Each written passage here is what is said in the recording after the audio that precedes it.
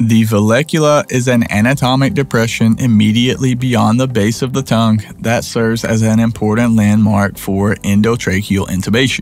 This structure is located between the base of the tongue and the epiglottis, forming a small pocket that acts as a pathway for both food and air to pass through. We created this video to cover the medical definition and provide a brief overview of this topic. So, if you're ready, let's get into it. As previously mentioned, the vallecula is a small depression-like structure found within the oropharynx. The oropharynx is part of the pharynx, which is a muscular tube that connects the nasal and oral cavities to the larynx and esophagus.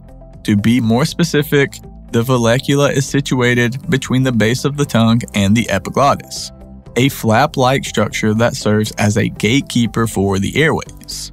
The vallecula is divided into two distinct spaces, known as the valleculae epiglotticae.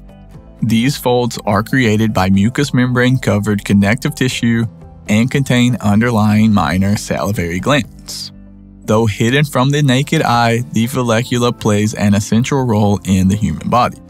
Its location allows it to trap saliva and occasionally food, preventing the swallowing reflex from being constantly triggered especially during sleep.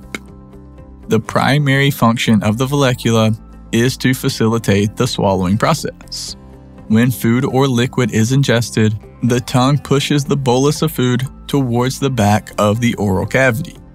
As it reaches the vallecula, the epiglottis folds down, sealing off the larynx and ensuring the bolus moves into the esophagus instead of the trachea. This mechanism prevents choking and aspiration protecting the airway during swallowing. You should also remember that the vallecula is an important anatomical landmark for healthcare professionals, particularly in airway management and endotracheal intubation. During intubation, a tube is inserted through the mouth or nose and into the trachea to maintain a patent airway to facilitate mechanical ventilation. The vallecula serves as a guide, allowing practitioners to properly position the laryngoscope blade, visualize the vocal cords, and subsequently insert the endotracheal tube. In some cases, abnormalities or pathologies affecting the vallecula can lead to dysphagia, aspiration, or other complications. Conditions such as tumors, inflammation, infections, or congenital deformities can impact the structure and function of the vallecula resulting in the need for medical intervention. Therefore, the early detection and appropriate treatment of these conditions can significantly improve patient outcomes and prevent further complications. Moreover, the vallecula may be implicated in certain sleep disorders, such as obstructive sleep apnea. This occurs when the airway becomes partially or completely blocked during sleep, leading to disrupted breathing and reduced oxygen levels.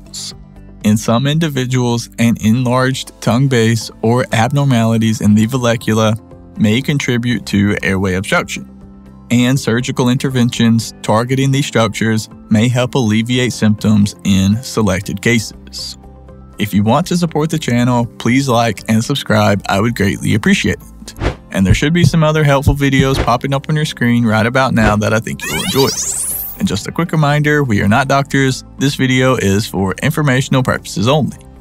Thank you so much for watching. Have a blessed day.